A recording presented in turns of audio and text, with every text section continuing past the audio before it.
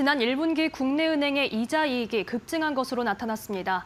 예대금리 차도 3년 내 최대치를 기록하면서 이자 장사 논란이 커질 전망입니다. 금융감독원에 따르면 1분기 국내은행의 이자 이익은 전년 대비 16.9%, 1조 8천억 원 증가한 12조 6천억 원으로 잠정 집계됐습니다.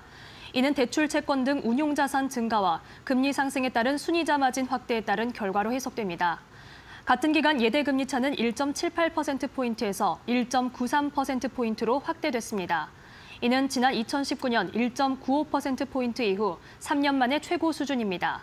은행권이 과도한 이자 장사를 하고 있다는 비판이 잇따르면서 정부가 예대금리차 공시 도입 등 견제 조치를 강화할 것으로 보입니다.